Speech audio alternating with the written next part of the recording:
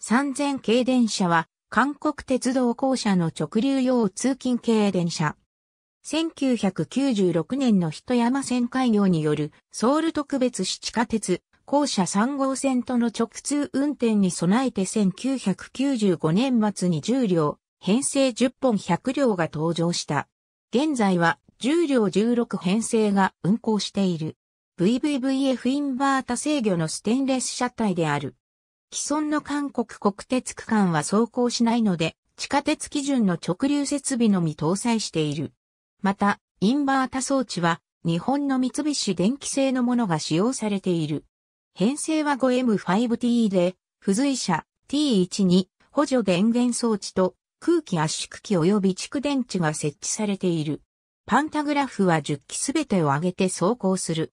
車体はソウル交通公社4000系電車と非常に似たデザインになっており、当初はステンレス車体に赤と青の細体が巻かれていた。現在では、帯の張り替えで、路線カラーに合わせた橙色を採用。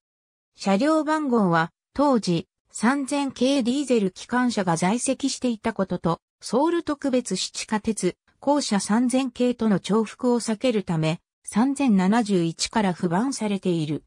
1996年に重量編成16本160両体制となった。当車両の検査はすべてソウル交通公社に委託されている。2003年に発生した手口下鉄放火事件をきっかけに2005年から2006年にかけて内装材を不燃材に交換する改造が行われた。この改造工事に合わせて車体体の張り替えと方向幕及び列車番号表示器を発光ダイオードによる表示器に交換する改造も同時に実施された。2007年に車内自動放送装置の音源をロム方式から MP3 方式に交換する改造が行われた。ありがとうございます。